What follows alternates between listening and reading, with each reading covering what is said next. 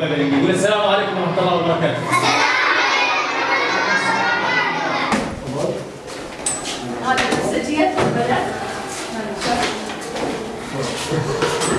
الآن في مدرسة أبو جراد المدير رأس العين نتقدم بالشكر لفرقة السلطان مراد من جيشنا الوطني الحر على لفتتها الكريمة والإنسانية التي قامت بها وهي توزيع مجموعة من الحقائب القرطاسية على أطفالنا ورسم البسمة على أفواههم. آه، نتمنى من جميع الفصائل وجيشنا الوطني حضور من هذه الخطوة لأنها تدعمنا بالتربية وتدعم وترفع من آه، العملية التعليمية وتساعد أطفالنا الذين هم بأمس الحاجة للقلم والدفتر بسبب الغلاء وعدم آه، وجود